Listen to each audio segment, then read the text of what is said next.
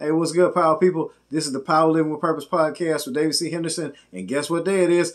Guess what day it is? It's Tactical Tuesday. Woo, woo, woo, woo, woo, woo. All right, all right. I don't know if you're as excited as I am. But anyway, Tactical Tuesday is sponsored by Opportunities Unlimited Business Group, where ambition and success unite. Uh, national business uh, and career networking, um, job opportunities, investment opportunities, business opportunities, and also nonprofit and philanthropy uh, uh, opportunities. That is www.weareoubg.com. That's www.weareoubg.com. All right, so this Tactical Tuesday, this is the first, all these first installments are talking about how to actually improve your city. Now, this is the next part, which is about um, how to improve, actually improve your city. This part is activist organizations. All right. Now, notice I did not say activist individuals. I said activist organizations. There's not one activist in the history of activism who ever got anything accomplished simply by themselves alone. You have to be part of an organization or group. And what you have to do in order to okay let's say you got the best city in the world. They got all the businesses going on um, we got great neighborhoods you got uh, jobs you got great schools you got all that stuff low crime. But somebody decides that they're going to take advantage of a certain situation on this side of town on this side of town from this office from this place.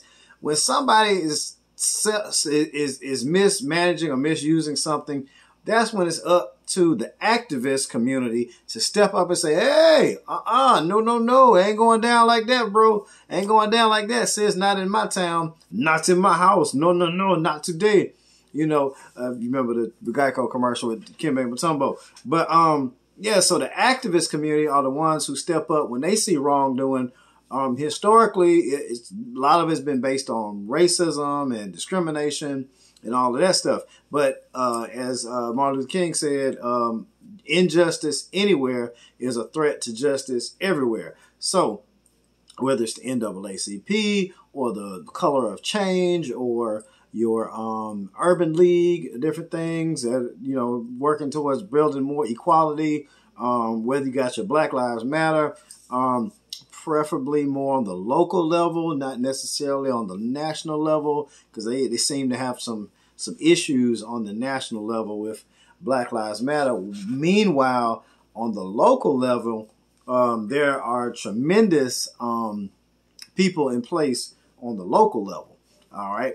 Um, okay, had to fix something there. All right. So um, basically, uh, now the people now the people that rioted in the streets when um, uh, George Floyd was killed and um, and that just really got a lot of attention all over the world. Um, people all over the world were coming out and protesting, but the protest is only as good as the amount of organization and strategic uh, planning and strategic demands made by an actual organization that has a specific set of demands for a specific um, target.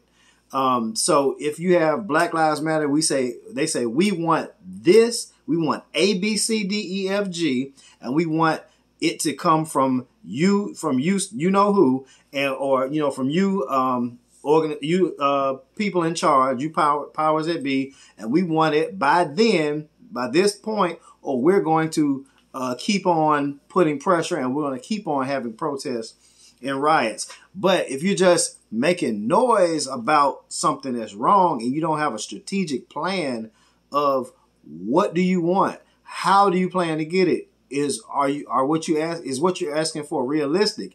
Uh, is is it you know does it even make sense? Um, so yes, absolutely. When you see something wrong, say something. If you see something, say something. If you're if you're in you, you live if you love your city, your community, um, and you see things that are not happening, that are not going right, and you don't say anything about it for year after year after year after decade after decade after decade, then it's all your fault just as much as a citizen because you you stood by and you took it.